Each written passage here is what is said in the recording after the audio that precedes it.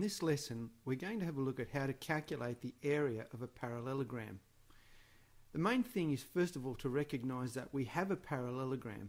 And if you look at carefully, you can see that it's like a rectangle that's pushed over in that the opposite sides are equal and they're parallel, but the angles are not equal to 90 degrees.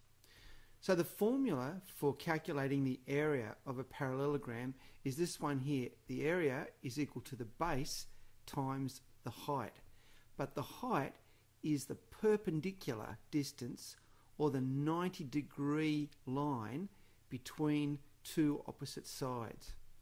So in this example, we write down the formula first of all. So the area is equal to the base times the height and the base in this case is 2.5 meters and the height is the perpendicular distance between the two sides here and here which is 3.5 meters.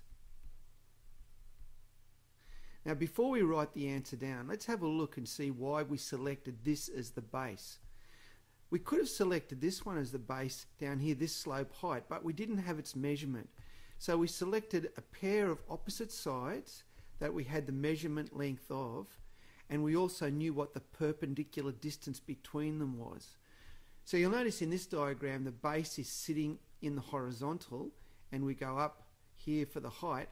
In this case, the base is along this line here, and as long as we've got a 90 degree line, between two sides and we know its distance, we can use that as the perpendicular height.